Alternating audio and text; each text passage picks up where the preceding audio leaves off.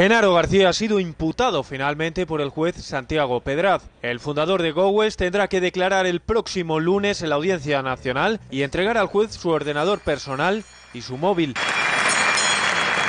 También anuncian acciones legales inminentes los trabajadores de la compañía. Entendemos necesaria una rápida actuación y decisión por parte de la justicia y la dirección de la compañía, que minimice el daño causado. Después de que hoy conocieran con estupor la noticia que ocupaba muchas portadas, Genaro García pudo haber obtenido beneficios vendiendo sus títulos antes de la catástrofe.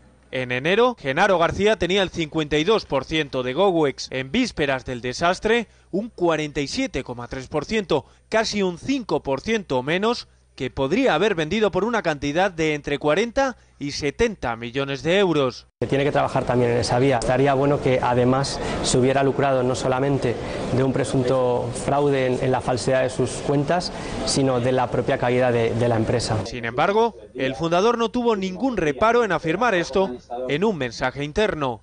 He invertido aquí todo mi dinero e incluso me he endeudado para poder sostener la acción en las últimas semanas. Asimismo, he metido a mi familia y amigos como inversores y como proveedores. Para evitar otro caso GoWex, que ha solicitado el preconcurso de acreedores, el ministro de Guindos hizo ayer un importante anuncio. Están en torno entre 500 y 1.000 millones de euros.